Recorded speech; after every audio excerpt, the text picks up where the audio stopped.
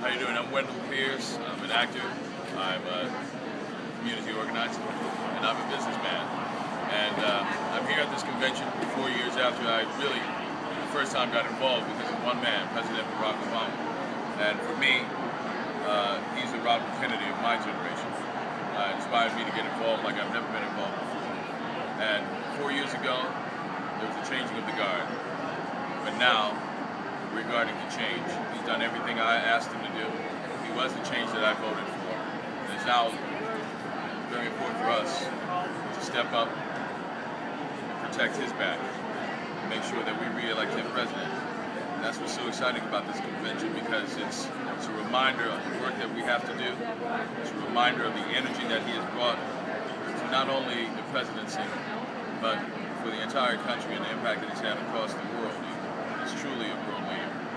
So tomorrow, on Thursday, make sure to watch the president so you know where we're going in the forward future. I'm Wendell Pierce. Check it out on demconvention.com.